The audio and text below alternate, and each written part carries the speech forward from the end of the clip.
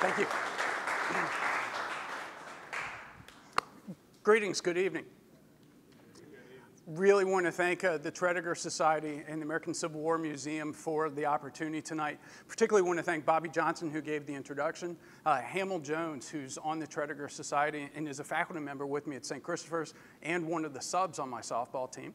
Uh, and then also want to thank Sean Kane for, uh, you know, when we've been getting together the last few weeks talking about this presentation, these guys had a lot of questions, not only about this period in baseball history, but kind of other things that we get in the book as we get into the professional era, as we get in even into the modern era. And I said, guys, for me to cover all of this information in a half hour or 45 minute presentation is going to be a huge challenge to come up with something that's going to be kind of coherent, that's going to keep the audience interested. And I said, but if you guys have a lot of these questions, I'm sure the other folks are going to have a lot of questions too. So what we decided, and as, as you saw in the flyer they sent out, they were calling this a conversation rather than a presentation or lecture like they've done with a lot of the other ones. So what we want to do tonight, instead of a, a full 40-minute presentation like they do with a lot of others, I'm going to do about 15, 20 minutes of some introductory remarks. And, and what I want to cover tonight is really the era before the Civil War, you know, when baseball went from amateur status, starting to get into uh, semi-professional development. Uh, then we'll talk a little bit about the war, uh, and then we'll really talk about that, pre, that Reconstruction era, and that's where Richmond comes into play. Uh, we'll also talk about the style of play, because this era in baseball history is probably really transitional in terms of the rules of the game. You know, by the time we get to 1890, the rules for the game that we know today, we're pretty well set. Uh, but it was, a, in some ways, a very different game in those early eras. So we'll talk some about that. And then, like I said, we'll pick up after the war. We'll talk about Richmond, take it up to 1885. And, and that's when Richmond first entered the ranks of professional baseball, you know, that team from 1883 to 85. We'll talk about that team. And then I want your questions to drive where we go from there. Whether it's talking about stuff that, that maybe I highlighted earlier, Maybe it's talking about some of the different ballparks that have been around in Richmond. You know, one of the, the presentations that I've done before that, that Bobby didn't mention, the Valentine Museum had me four summers in a row lead a series of bus tours of all the different locations that ballparks have been in Richmond. In, in fact, show of hands, did anyone go on any of those bus tours? Um, okay, no one in the room. Good. So all my stories and jokes can still be told tonight. Excellent but you know, so if you have, you know, there, because there have been some, 10 different locations where ballparks have been, and I know uh, the location of the ballpark has been in the news a lot, so some of you might have questions about that. Some of you might have a, a you know, question about the relationship between the majors and minors, because through our baseball history over the last several years, we got to see two very different relationships between the major and minor league team with the Braves, where that team was owned by the major league team, uh, to what we have now, where it's a minor league ownership that has a player development contract. So two very different kind of situations. Uh, or you might have questions about the research itself. You know, as he mentioned, the, the book was co-authored with Dr. Harrison Daniel. Dr. Daniel was, was, my thesis advisor at the University of Richmond. Uh, Dr. Daniel was a retired professor when I started working with him. Uh, in fact, he was probably close to 80 or somewhere around there when we started working together.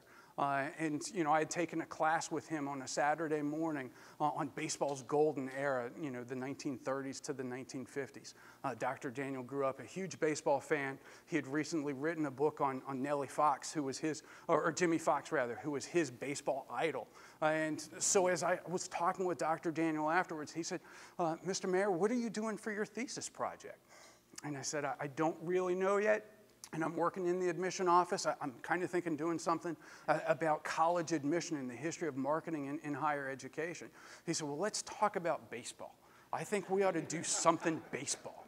Uh, so he and I started talking, and, and we started, and he said, you know, no one has ever written a history of professional baseball in Richmond. Uh, this is fertile ground. There's a lot of great information that we can have there. So why don't we start working on this project?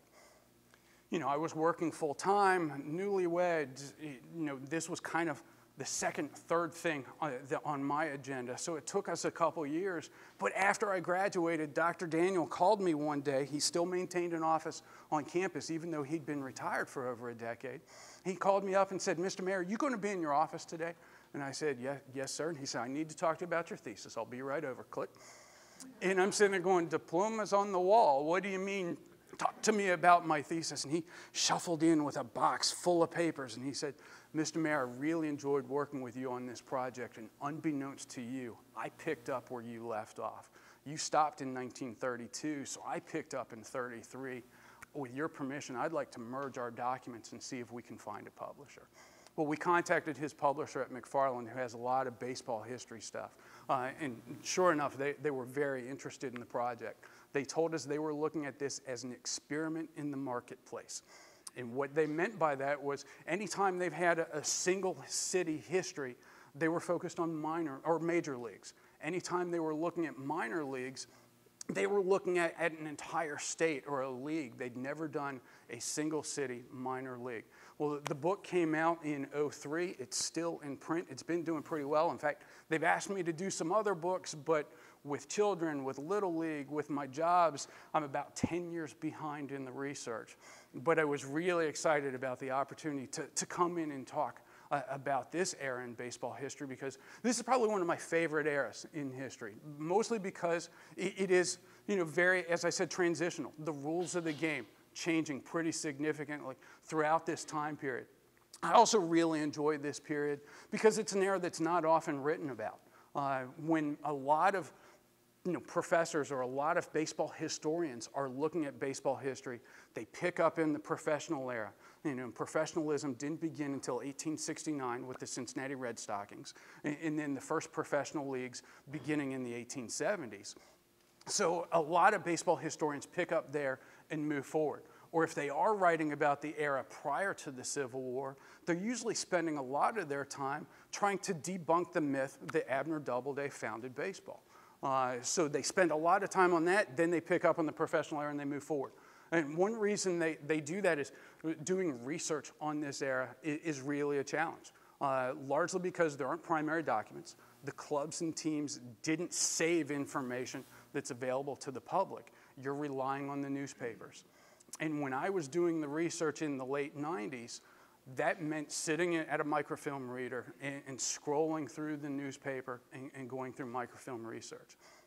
At that time, a lot of the newspapers, the, the Richmond newspapers, a, a daily paper was four, maybe six pages long.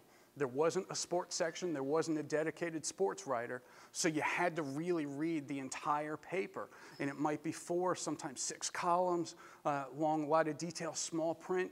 And the baseball article might be down in the lower right hand corner on page four, but you had to scroll through and read a lot of the information.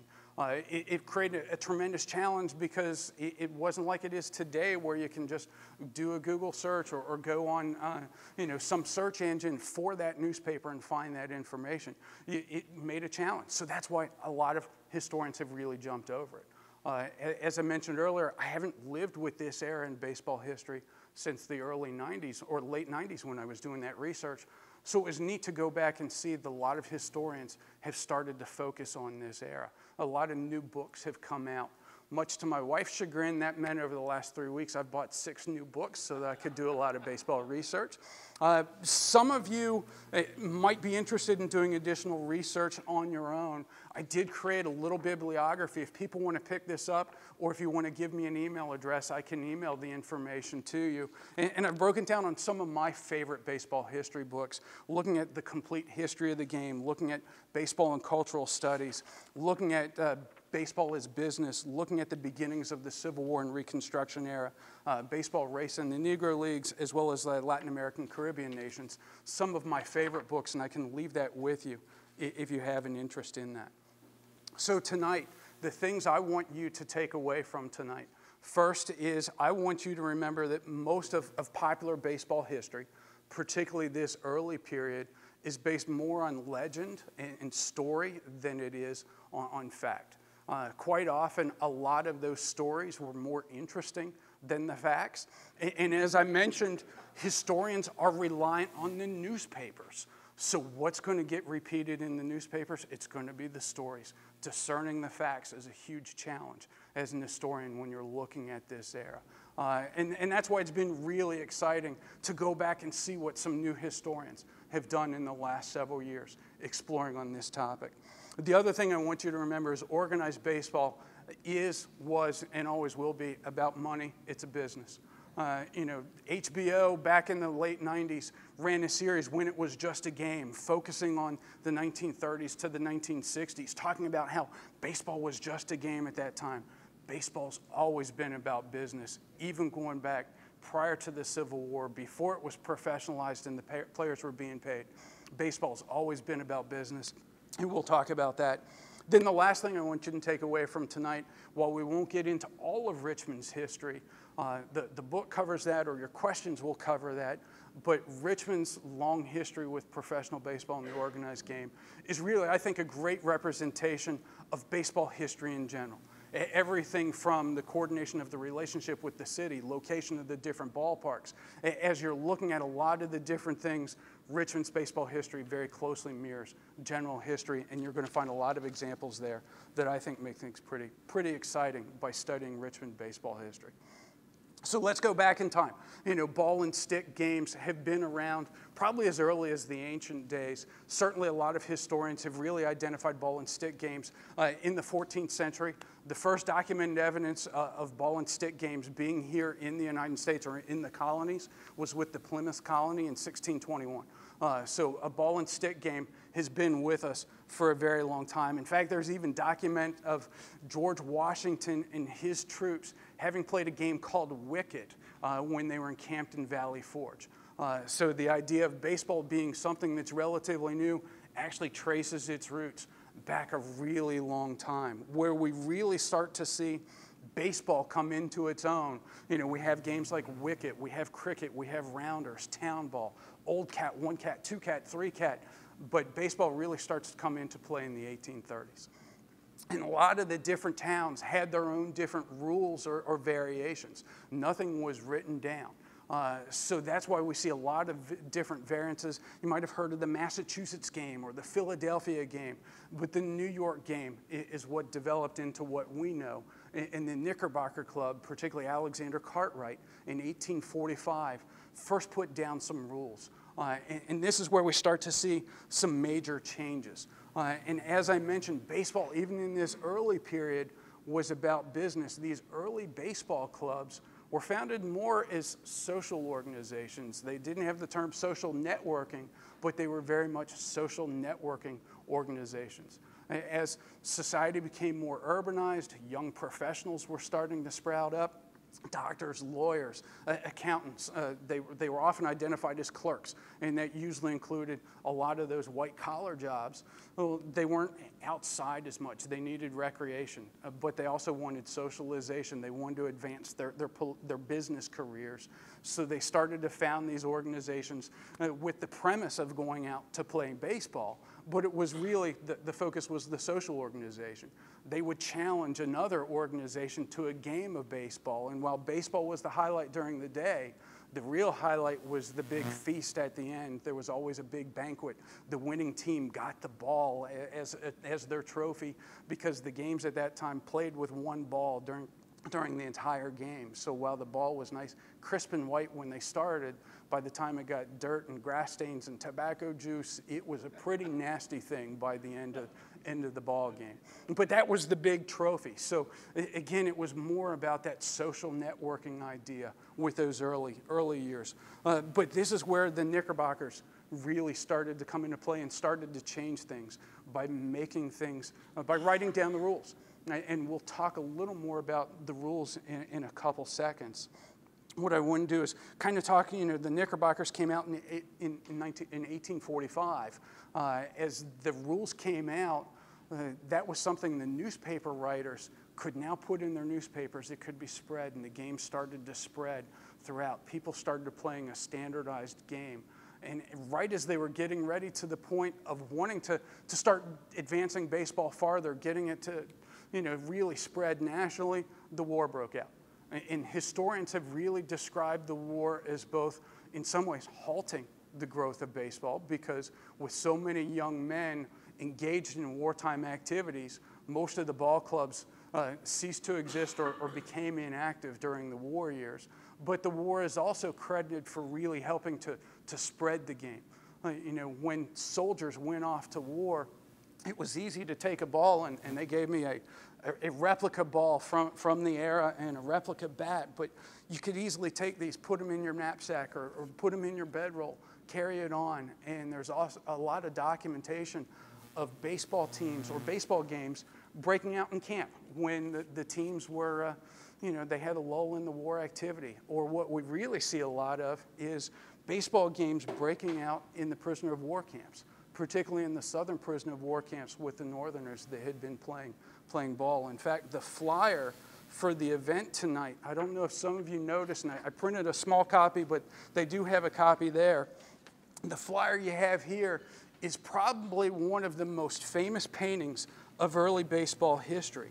Uh, this is a painting that was painted by Captain Otto Boetticher, I think is, is, is, how his name is pronounced. It's B-O-E-T-T-I-C-H-E-R. Uh, Otto Boetticher was actually a German immigrant to the United States. He was, he was in his 40s, so he was older.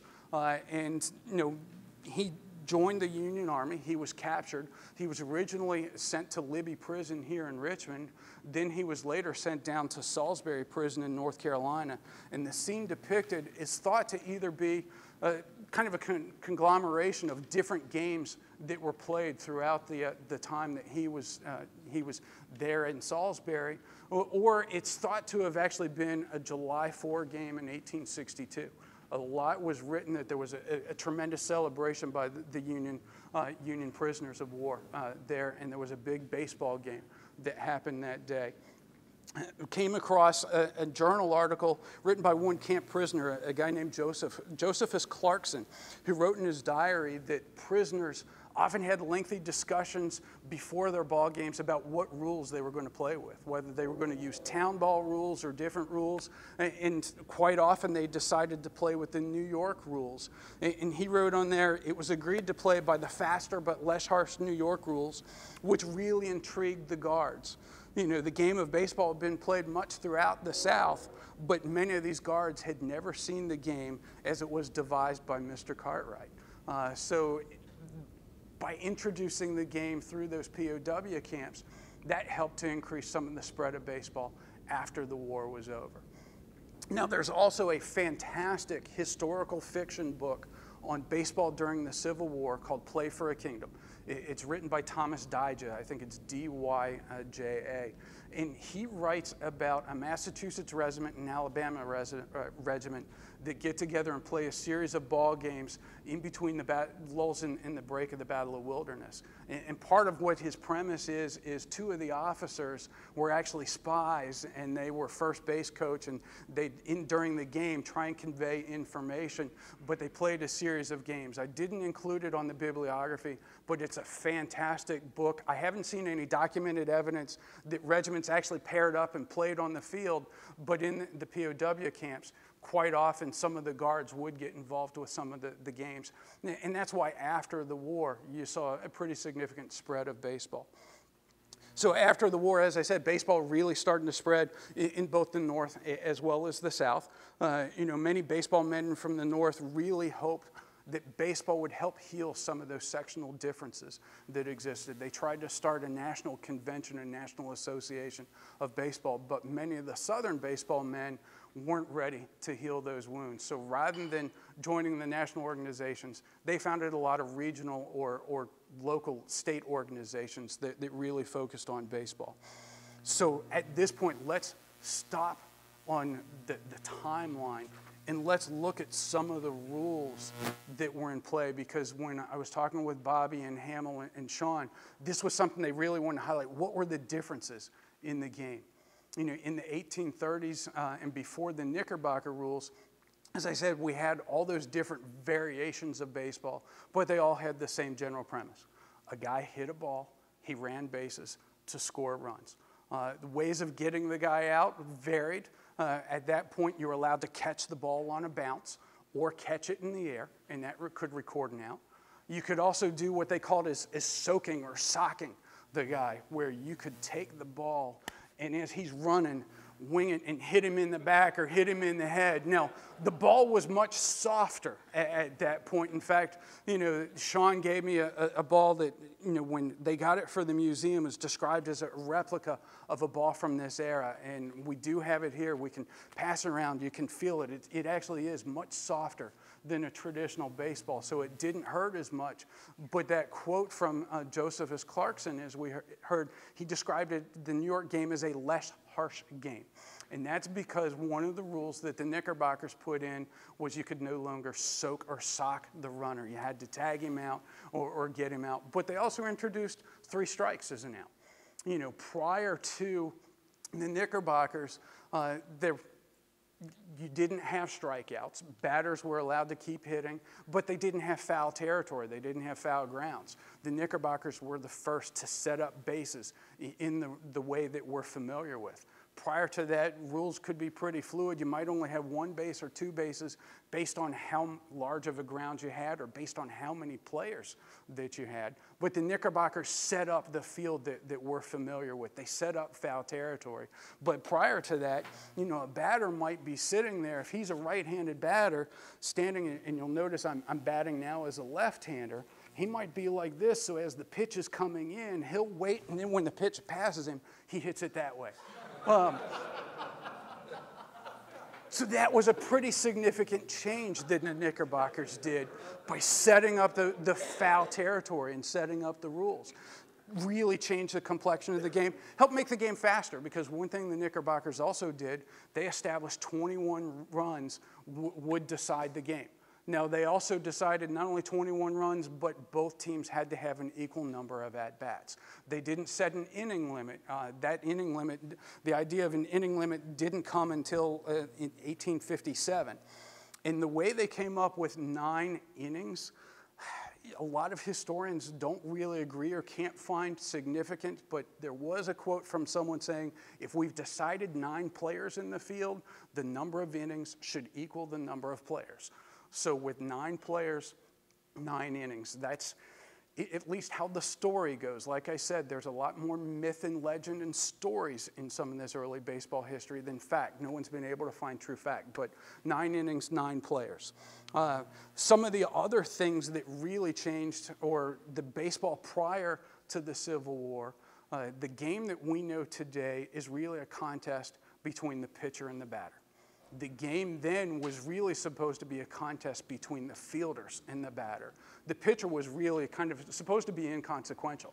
The, the pitcher had to be in a box, and there was a box, he, the front edge of the box was about 45 feet away, and the pitcher was supposed to pitch underhanded, uh, and it had to be a straight arm underhand, and the batter could say where he wanted the pitch. He could say he wants it here, he wants it about here, wants it about here, and he could wait until he gets his pitch.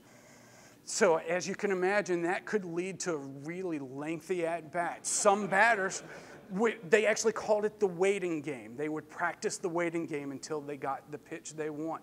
So, they, they soon adapted the rule. Batter could only call for either a high pitch or a low pitch. They couldn't dictate a, a certain particular area. Well, pitchers soon starting to realize well, if, if I kind of throw it harder, it's going to be harder for him to get a clean hit it's going to be easier for us to get out. Or maybe I could twist my wrist or flick my wrist, get a little bit of a spin on the ball. So that would again cause batters to wait a little bit because remember, there are no foul balls, there's no called strikes, there's no balls at this point. Batters would also intentionally request the low pitch when there's a runner on base because they're hoping at this point, if it's a low pitch, there's a good likelihood that it's going to get away from the catcher because at this point they weren't using gloves. Now they had a softer ball, so they didn't necessarily need the glove, but gloves didn't come in, in until the 1870s. So people aren't wearing gloves. The catcher is going to be a, a, lot farther back than what we're used to. He doesn't have any gear or equipment. So if you're requesting that low pitch, the chance you're going to get a wild pitch allows your base runners to advance makes it a whole lot easier for you as a batter if you've got a guy on third to get him to score than if you're coming up with a guy on first. The other thing that they would do is, you know, they would often just go ahead and wait for the wild pitch to try and get those runners to come around. pitch counts for the pitchers at that time, it was routine to get well over 250, if not over 300 pitches in, a given game. Now, of course, they started to adapt the rules. As I said, this is a very transitionary period. Uh, and I, I, intentionally wrote some of these down so that I made certain I had the, the particular dates as we got into it. I, I didn't want to uh, get the wrong things. By the early 1870s, uh, the pitching point changed from a straight arm underhanded, and pitchers were allowed to release at some point below the hip. That's why we started to see some of those sidearm pitchers or some of the submarine type pitchers. As we get into the 1880s, the release point makes it all the way up to the shoulder. And in the mid 80s, 1880s, there were two major leagues. The National League in 1884 dictated that pitchers could throw overhand the American Association, which was another major league, uh, wanted to try and keep it at the shoulder point, but finally, in the midpoint of the, the 1885 season, they realized that was too hard to dictate, so they went ahead and allowed pitchers to throw overhand. As I mentioned, the, uh, the balls and strikes uh, were something that, that really didn't start to come into play until later. As we had the waiting game, they, they started to have umpires call strikes. And this created a new role for the umpire umpires in those very early years was actually a position of high respect. Uh, the president of the club or a senior member of the club was often the person that was selected as the umpire. He was given an armchair to be able to sit in. He was given an umbrella if he requested so that he could block the sun. If he needed a drink or a beverage, someone would bring those to him. He was there more as an, a general arbiter to make certain that gentlemanly play was conducted, not in making judgments about the play. But as the waiting game happened, it, it's starting to frustrate a lot of people. As they started to, to change the rules, they moved the umpire to a position behind the catcher. Then, now the umpire was given some discretion to start calling strikes, but it really took a long time before they started calling strikes. And then as pitchers were trying to intentionally not throw strikes to make the batter try and hit a, a bad pitch, they had to start issuing balls. And at first, they started giving a warning. That's a ball to the bat. And after you had three of those, then you were assigned a ball. So the, the concept of a walk took a while to come in. They, they really took them a long time to try and find that delicate balance between how many balls, how many strikes, what is a strike. Uh, at one point, nine balls uh, was needed in order to get a walk. It, uh, but finally, by 1889, they got down to the 4 3 count that we're familiar with. So I think that gives us enough of some of the rules of the game. Let's jump right in to Richmond at this point. You know, after the Civil War, as I mentioned, there was tremendous interest in baseball throughout the country, not just the North. Uh, the first recorded evidence uh, of baseball activity here in Richmond came during the midpoint of 1866 uh, as you would expect with, with Richmond having gone through everything it did throughout the war, with, with the burning of, of a significant section of the city, uh, with the occupation of the, the Union forces in Reconstruction. It took a while before baseball really started to kick in in leisure activities, where some of the other cities picked up with baseball immediately after the war.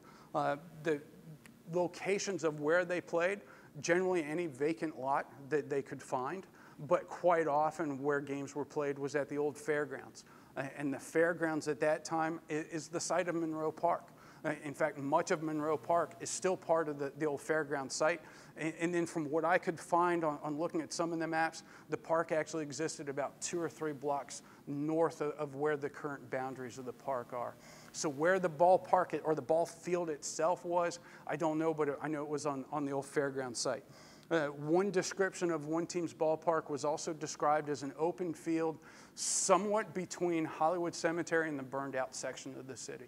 So there were several different locations uh, where the different ball teams played. Person who's probably primarily known for being that, that person that truly introduced organized baseball to Richmond is, is Captain Alexander G. Babcock. And Babcock is a really interesting person. He's originally from the North, he's from New York. He actually played with the Atlantic, uh, the Atlantic Club of Brooklyn before the war, so he was familiar with baseball. When war broke out, he joined the Union Army. And he was with the Union Army, and for reasons unknown, within a few months, he actually switched to the Confederate Army. He was named a captain, uh, and then he, he served served well throughout the war. After the war, he made his home here in Richmond. He was an ice dealer, and from reading in the paper, sometimes he did well, sometimes he didn't do quite so well in, in that business. Uh, but he wanted to continue his pastime. As I mentioned, he was active, involved in baseball. So he started the first Richmond club. In fact, they were under the name the Richmond Baseball Club. Uh, the first documented baseball game that I could find was actually a scrimmage game uh, between members of the Richmond Club playing each other uh, because there weren't any other teams here at the time. But pretty soon thereafter, other clubs started. By the end of 1866, there were at least six different clubs active in Richmond. One of the ones that, that's probably the most interesting is a club called the Union Baseball Club. And the Union Club was thought to be uh, either Army officers or government uh, officials uh, with the, occupying army here in the Richmond area. And they were somewhat controversial because they issued a challenge to the Richmond Club to play a game. And, and they asked the Richmond Club, if you, if you choose not to play, you, we want you to tell us why. And all this was done in the newspapers. And they replied that they were going to refuse the challenge, which was almost unheard of. Normally, ball clubs would accept the challenge, and their reasoning was because we are Southerners. So that's why they chose not to play the Union Club. A few months after that, Babcock left the Richmond Ball Club. Again, we don't know why. He defected and changed sides, but he founded a new club. This club was called the Pastimes.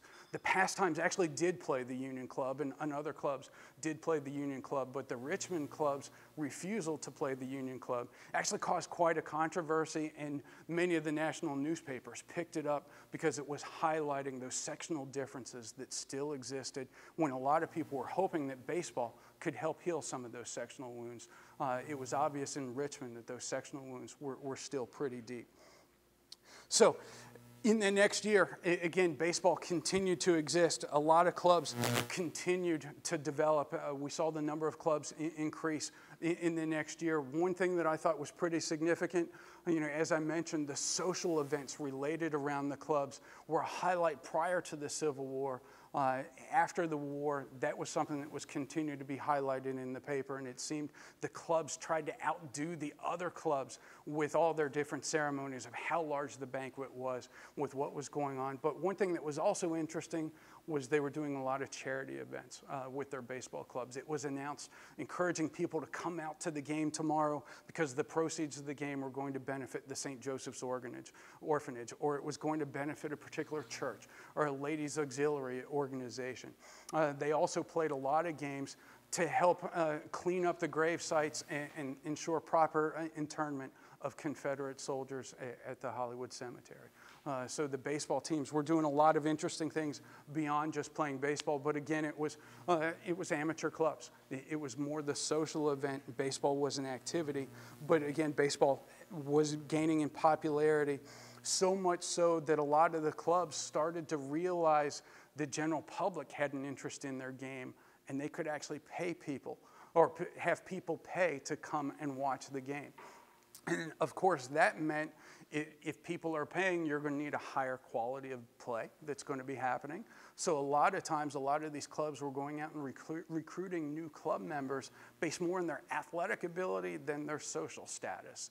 Uh, again, it, was still amateur, yet it was often reported uh, that a lot of guys were being paid maybe a cut of the gate receipts or maybe being paid under the table. Uh, we didn't see the first professional team until 1869, as I mentioned, the Cincinnati Red Stockings. Uh, they went, went around the country in a, in a, very celebrated and popular move, and they, they openly recognized we're paying our players. Uh, they were very successful on the trip, but they pretty soon uh, ran into financial difficulties and that club failed. Uh, but the, the concept of open professionalism really started to take hold by 1870. We started to see, particularly in the Northeast and some of those Midwestern cities, a lot of open professional teams. Now, baseball in Richmond, as we got into the late, later 1860s, really started to die out. Uh, the newspapers don't really highlight why. A lot of historians identify baseball really starting to die in the late 1860s, early 70s in a lot of southern cities, more because of the economic hardships that they were going through as they were trying to reconstruct after the wars. Uh, in the late 1870s, Henry Boschen, uh, owner of a shoe manufacturing plant on Broad Street, somewhere between 2nd and 3rd Streets, is really credited for bringing the concept of, of professional baseball to Richmond. The story goes that, that Henry Bosch and doctors advised him he needed to take up exercise. So his idea of taking up exercise was to form a baseball team. And of course, as the owner of the shoe factory, he was going to be the pitcher, he was the captain, he was the star player of his team. Uh, he went around getting some of the best ball players and made them employees at his factory so that they could play on his factory sponsored team.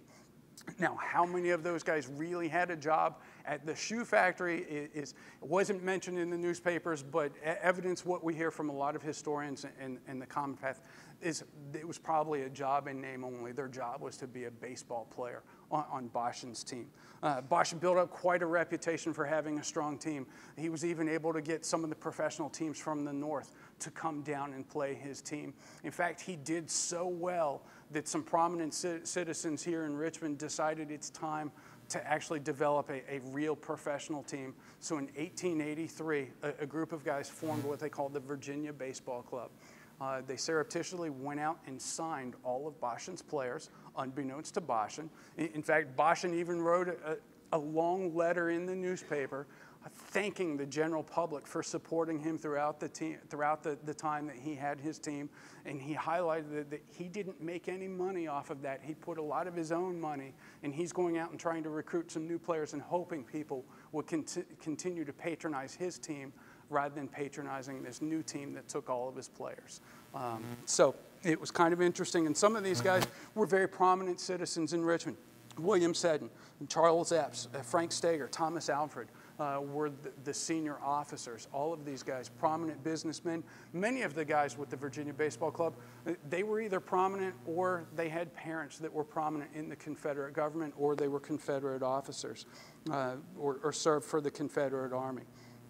So this team, the location where they chose their grounds, uh, was at the head of, of, Franklin Street, just outside of city limits, on land owned by Otway S. Allen. Those of you that do a lot of Civil War history might recognize that location as the site of the Lee Monument right now. Uh, they used those same general grounds in, in, the early 1880s. It was still open field. Uh, and what they did, when you think of a baseball stadium in this era, don't think of what we have today. The baseball stadium in this era is generally a large fence to cover up as much territory as you can because they were only using one ball during the game, so you didn't want the ball going over the fence. Uh, so they, they tried to cover as much territory as they could. The ground was pretty rough, so you're not going to have well manicured grounds like we have on all the baseball fields. In fact, most little league fields in town today are probably in better condition than the, the professional teams were playing on there. They didn't have elaborate grandstands, but they did have some stands. They, they would make some covers. And, 25 cent admission got you in the fence. And for an extra 15 cents, you could get a seat and you could also rent a seat cushion if you wanted. So, um, but the, this team, as as already mentioned, it's the site of the Lee statue. So, and you know, the Lee statue came in just a few years after we're talking about. So they only existed for two years as a professional team. By 1885, they'd actually gone defunct. But the reason they went defunct was because they did too well. Uh, the team actually did fantastic in their first year, 1883. They formed as a team. They were playing a lot of other teams that were coming down, but they weren't in an organized league and they recognized to get a regular schedule to make certain they could get uh, consistent, consistent, strong teams to play, they need to be in a league.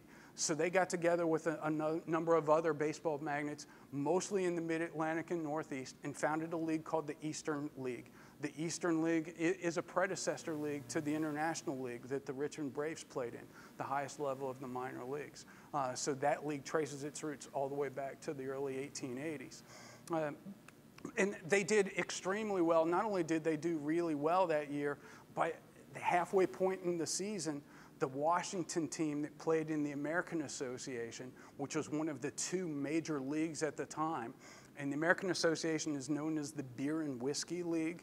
It's a really exciting league to read about. Uh, and the reason it was called that is many of the, the, the, owners of those leagues were actually brewers or they owned bars. And the National League didn't want to allow the sale of alcohol at their, their stadiums.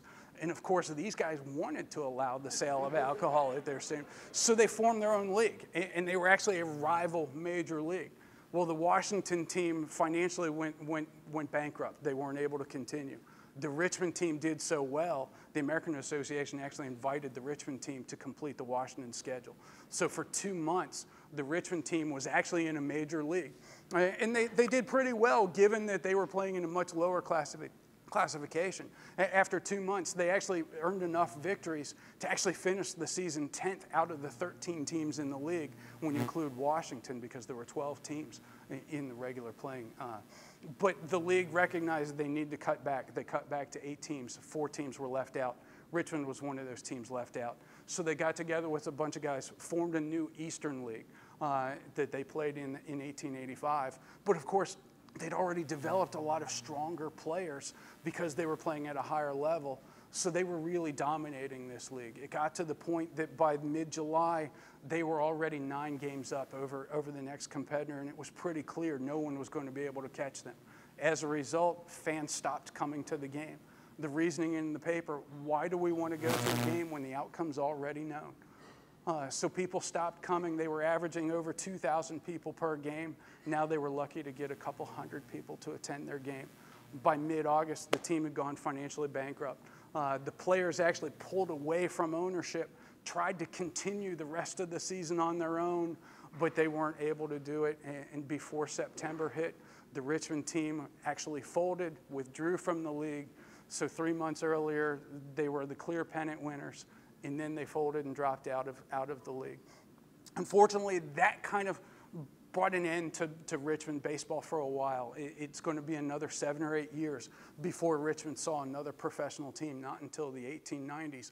But since then, we've had a long history uh, of baseball in Richmond. Uh, those first 50 years up until 1932, the, the period I covered for my thesis, probably the most turbulent. You saw a lot of years like that where teams might fail or, or where the leagues would fall apart during the season. In 1932, Eddie Mooers bought the, the Richmond Colts, and he brought stability. He was here for 20 years. Uh, and then we had the opportunity for the city to move into the International League, and the Richmond Virginians came in in the mid 1950s. That team left, and then we had an opportunity to get the Atlanta Braves, uh, and the Braves were here for over 40 years. And then, of course, we've had the Flying Squirrels. Uh, so we've had a long, rich history with the professional game here in Richmond. But I've probably talked more than I wanted to. I want to make certain we see where you guys want the rest of this conversation to go, whether it's things about this older era in baseball or as we move into the more modern eras of baseball. Who has our first question tonight? Yes, sir. What time in Richmond's history did you have blacks starting to play in that team? Yeah. Great, great question. You know, the, the Negro leagues and a lot of black baseball teams were actually started in that Reconstruction era throughout the South and, and throughout the North. The Richmond newspapers didn't comment on it. So while a lot of historians agree there was probably black baseball being played in Richmond during those, the 1860s, the newspaper wasn't commenting on it. So we don't have documented evidence that it was happening, but as you read about other southern cities, there were definitely you know, black leagues and black teams that were being played. Uh, you know, much as in general society, black and white was very separate at the time. Uh, so the teams weren't playing each other. Uh, but there were definitely, uh, they're most likely teams. Now, in the official Negro leagues, Richmond never had a team that was represented in the official Negro leagues, the major leagues uh, uh, for black players, but there were several minor league teams and semi pro teams. And as I was doing the research, I found other evidence of that. One thing I found interesting was that occasionally the Richmond newspaper would even advertise, you know, particularly if a, a prominent African player was coming in and playing in some of these games. And evidence supports it looks like white and black patrons went to the games in the 60s and 70s. Uh, so at that time, um, you know, when the Virginians came in, the Richmond newspaper even highlighted that it was interesting that the black fans would come to the Virginia's games, but they rooted against the Virginia team. But when Boschen's Richmond team was there, the black fans supported that team, and the Richmond newspaper couldn't understand why that was so. Uh, well, another historian wrote, wrote that he thinks what really happened was because so many of the Virginia Baseball Club leadership was affiliated with the, the Confederate government or the Confederate Army, uh, that you know they they would often have parades or people dressed and they were doing events to support uh, the, a lot of the, the, the, black patrons didn't like and didn't want to support that team, yet Boschen didn't seem to have that connection. So that's more than it is that, because again, we're relying on the newspapers and the newspapers weren't commenting on it. Uh, and incidentally, the first black player to play for a Richmond team was a Richmonder, Whit Graves. He was signed in 1953. Uh, so Richmond actually became an integrated team far ahead of, of some of the other teams. Uh, in, in, the 18, in that year, 1884, when Richmond was in the American Association, there was a black player that, that played for the Toledo Blue Stockings. Moses Fleetwood Walker was that player that the newspapers highlighted that not only was he a talented baseball player, he was well educated. He went to Oberlin. And, and it was interesting to note that not only was he African American, but that he was educated because very few whites had college degrees or, or, college experience at that time. So it was, it was prominent for them to highlight that. But when Toledo was coming in to play Richmond, uh, again, I couldn't find evidence of this, but a lot of other historians have highlighted that the Toledo manager received a letter from uh, a number of folks in the Richmond area highlighting there would be violence if, if Fleet Walker took the field and the letter was signed by 75 determined men encouraging him not to bring Walker here to Richmond. Uh, now, Walker didn't play in Richmond. He was a catcher. Uh, it was highlighted that he either had broken fingers or broken ribs and didn't make the trip, and he was soon, soon after released. But that was something else that kind of put Richmond on the national map with, uh, with baseball, again, going back to how teams refused to play the Richmond team in 1866, and, and now this incident with the, uh, with the Blue Stockings. Other questions? Yes, ma'am.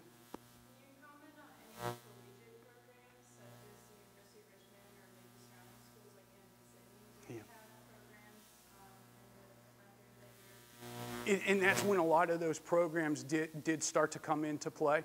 Uh, since I was focusing my research on the professional game, I didn't do a lot of research, but in the, I don't remember if it was the, the late 60s or, or the 70s, uh, there was starting to be mention of the collegiate teams. So the, the collegiate baseball does have a long history here in the Richmond area. Yes, ma'am.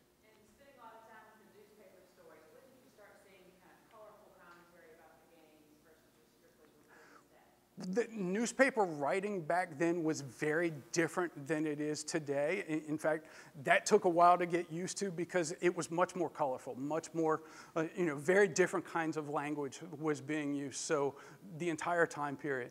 Uh, in fact, probably the hardest aspect of doing research, as I mentioned, there wasn't a sports page. You had to read the whole newspaper.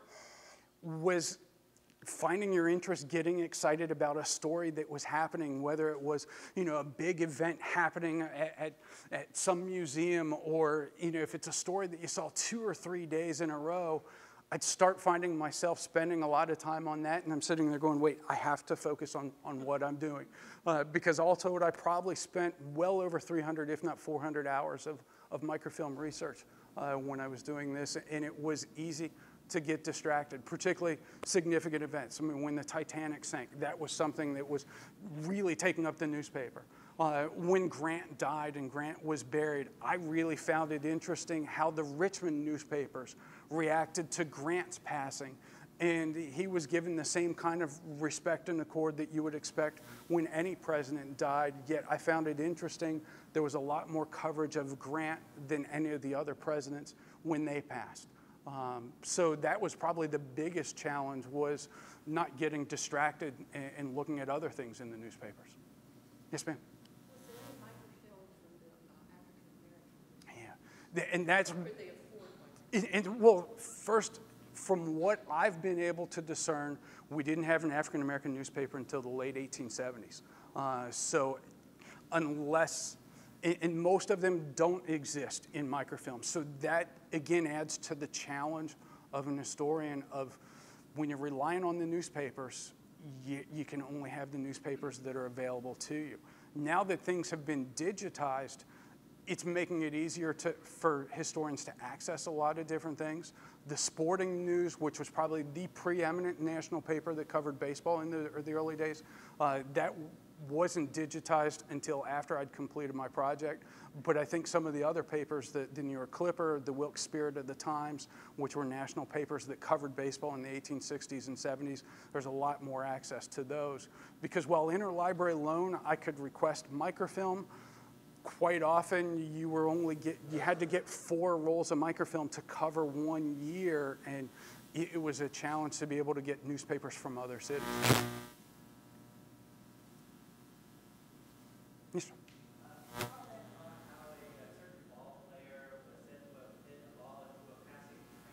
Yeah. yeah, this, this was something when, when Sean and I were having our conversations, he, he was saying he read, read an article about, you know, one of the old ballparks used to be on Mayo Island, and one of the outfield fences uh, was the Southern Railway line right there. And in, in fact, if you pick up a copy of the book or, or glance through the book, we have two pictures of aerial views of the Mayo Island field, so you can actually see it. One is the field in flood, because of course it flooded quite often. But another, I think, actually has a game in play. Uh, but many of the, the major league teams would do barnstorming tours after the regular season, and a lot of the, the major league players would come to, to smaller cities and play the games. And there was a game, supposedly Babe Ruth hit a home run that landed in a passing coal car that was on its way north and of course, that home run continued all the way until it reached the port in Baltimore.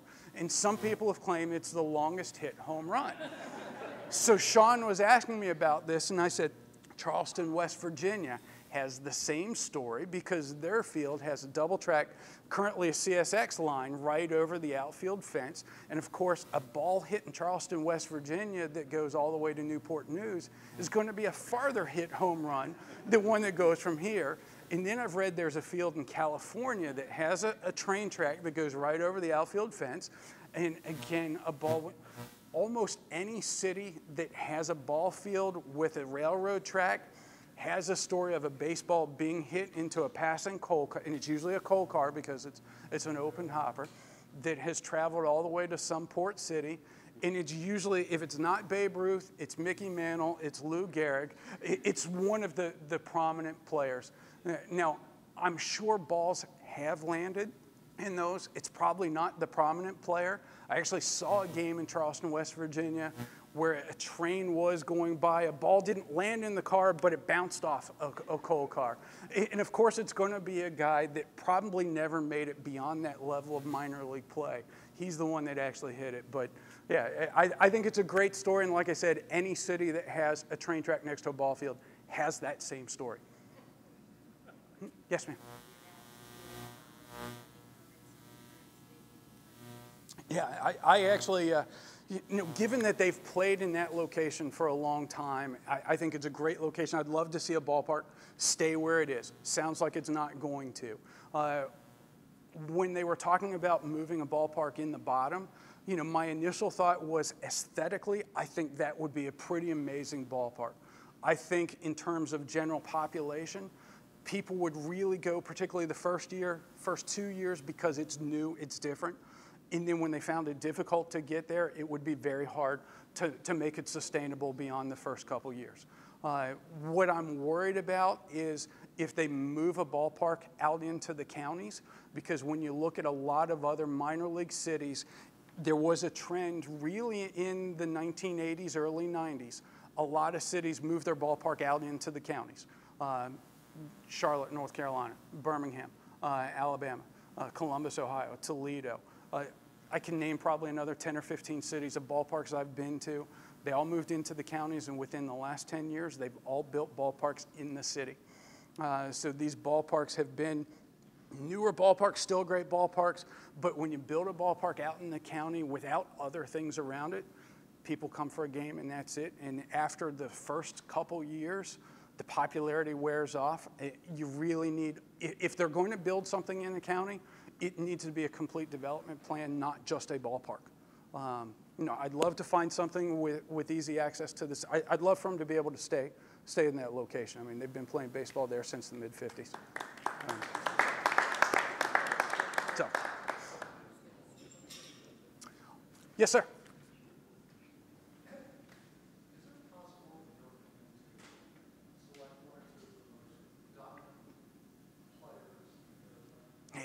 Yeah, one of the things that, that I was really interested in when I was doing my research was seeing if, if Hall of Famers or significant players came through the Richmond era uh, or came through Richmond on their way up to the majors. And there have actually been several pretty prominent Hall of Famers. Uh, Jack Chesbro, a, a pitcher in, in, the early 1900s. He was one of the, you know, Jack Chesbro, as well as, uh, let's see, old Stubblebeard Burley Grimes was another Hall of Fame pitcher. Both of these, please?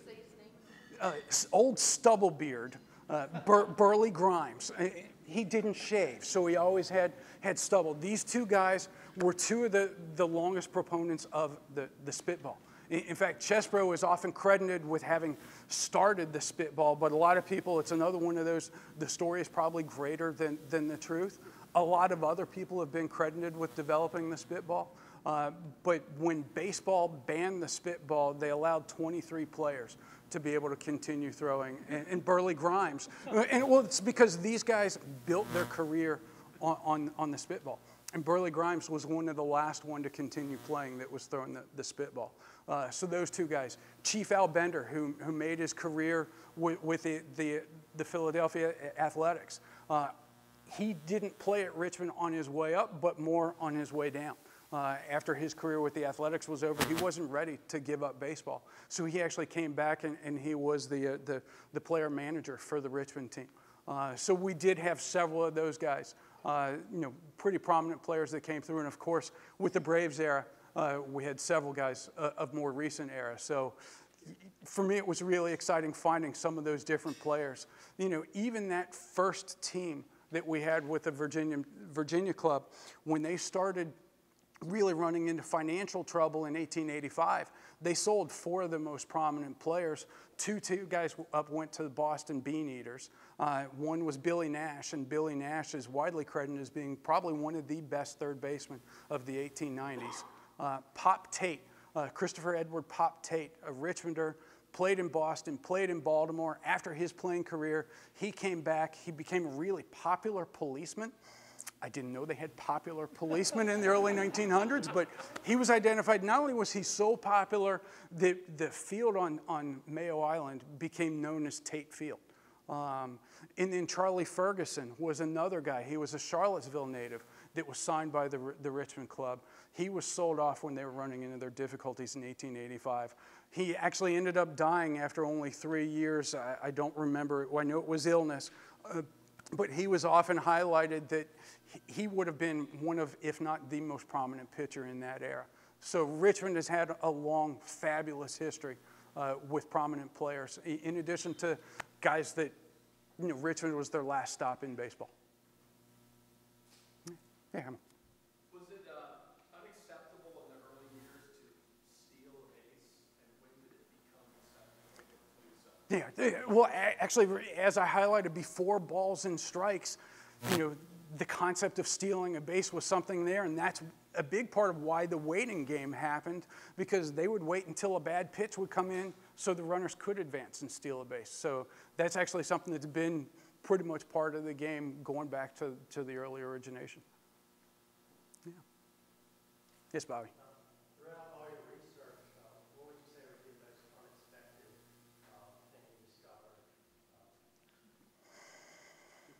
It's an interesting question because there are a lot of different ways. I mean, for me, finding out that Richmond actually had a period where they were in a major league was really unexpected, and to find it happening in their first year of a professional game.